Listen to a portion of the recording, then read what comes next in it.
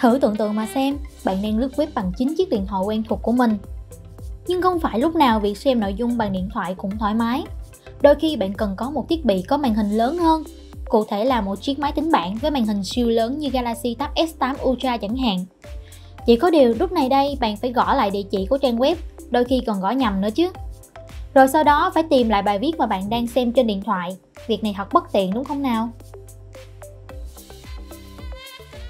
Chào mừng các bạn đến với Samsung Training Academy. Mình là Thùy Trang. Thông thường chúng ta hay làm mọi việc trên một thiết bị duy nhất. Nhưng đôi khi chúng ta cần tiếp tục tác vụ đang sử dụng trên một thiết bị khác thì sao? Hệ sinh thái Galaxy sẽ giúp bạn làm được điều đó. Trước tiên, bạn cần vào một cài đặt trên máy tính bảng. Tìm đến phần tính năng nâng cao và đảm bảo rằng đã bật tính năng tiếp tục ứng dụng trên thiết bị khác. Bạn cũng thực hiện tương tự để bật tính năng đó trên chiếc điện thoại của mình.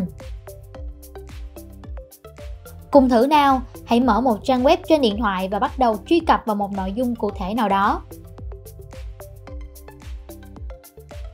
Và bây giờ bạn cần một màn hình lớn để xem thoải mái hơn.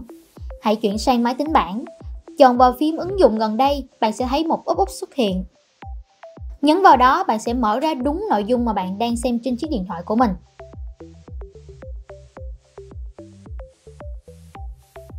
Rất tiện lợi đúng không nào? Trang tin chắc rằng các bạn sẽ tiết kiệm được rất là nhiều thời gian khi sử dụng tính năng này.